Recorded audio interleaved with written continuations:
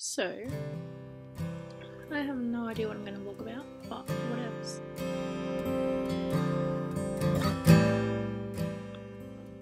Hey YouTube, hey. Um, I don't really know what to vlog about. Not a lot's happened in my life, but you know, my like full-on hipster vlogger YouTube like sensation friend has like uploaded like three, so I kind of need to get back in the game. Um, we had Be Free, that was really really cool.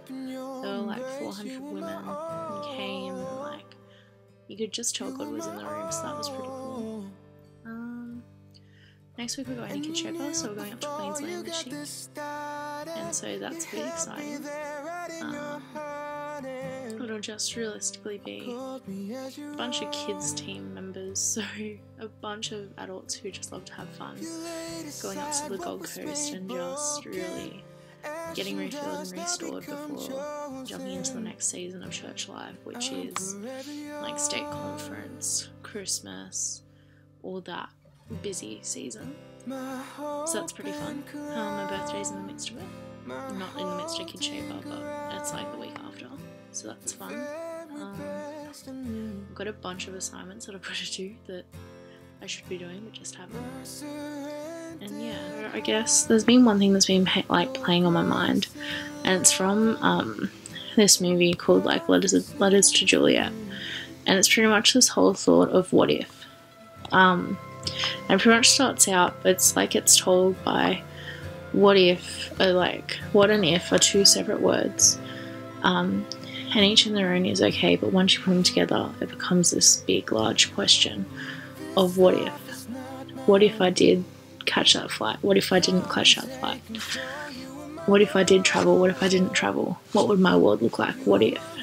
Um, and I guess it's just kind of one of those things where it's like the question of if you knew you couldn't fail, what would you do? It's just one of those things where it's like, what's the reason that's holding you back? And why is it holding you back? When at the end of the day, you've got this goal, so why aren't you trying to achieve this goal instead of looking over here being like, oh, I don't know. Um, and yeah, I guess like like for instance with Kid Shaper this week, normally like I'll go and have an awesome time, but just in exploring and adventuring, just because you get so tired, I'm just like, no, I can't be bothered. Um, but this year I'm just kind of like, hey, well, what if? What if I don't go? It's going to be the same as every other year. We're in Queensland this year. I may as well just get up and explore. And so that's what I'm kind of at, and that's where I'm excited for. I don't know, like, I guess the reason I don't explore is just because I'm kind of scared. I don't know. It's just kind of like this whole thing of, yeah, but it's not safe. I don't know it's stupid, but it just kind of, I don't know, it just works in me. I'm like, what if something happens? What if?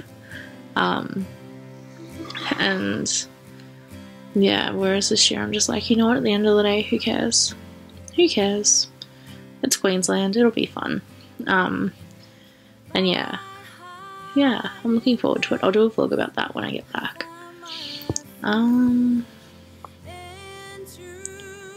yeah, I don't know. I just don't know. Oh, I was meant to read a video, it wasn't a poem, wasn't I? Whoops, let me go and find one right now.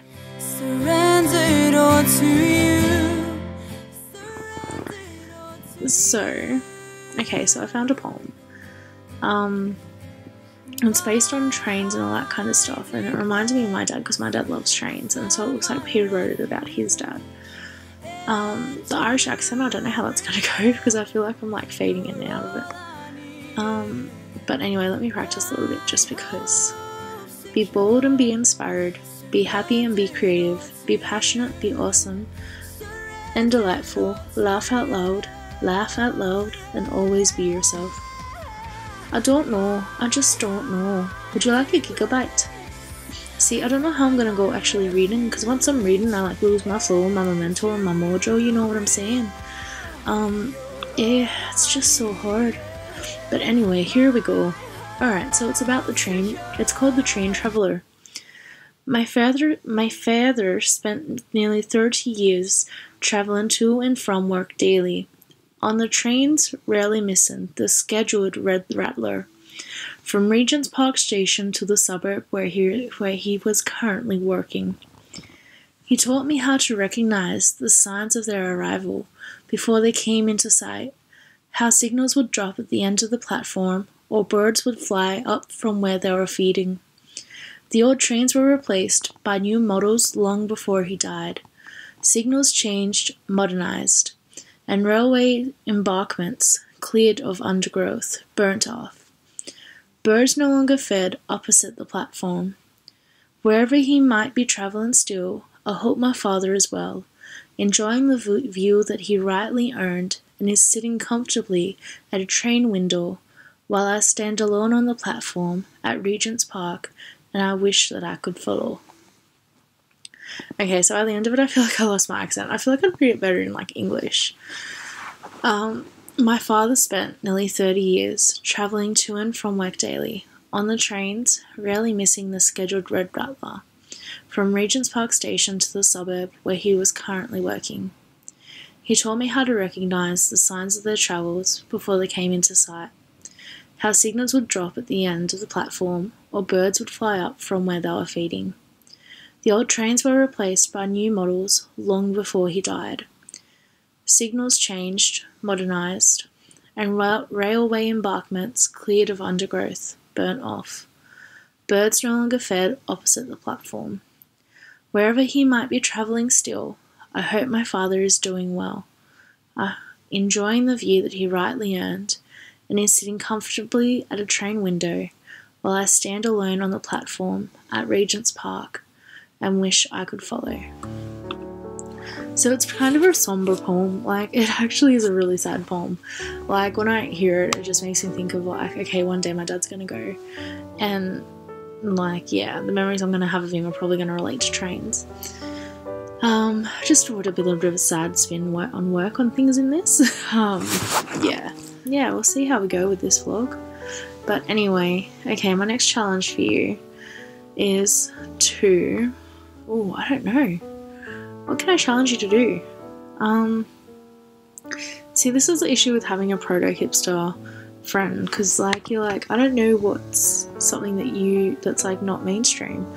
Okay, your next challenge is you have to read your favorite um, passage from the Harry Potter series. It doesn't matter like where it is, how long it is. Like, okay, it has to be more than like a two word sentence. But yeah, you have to read your favorite passage from Harry Potter. And yeah, see you. Bye.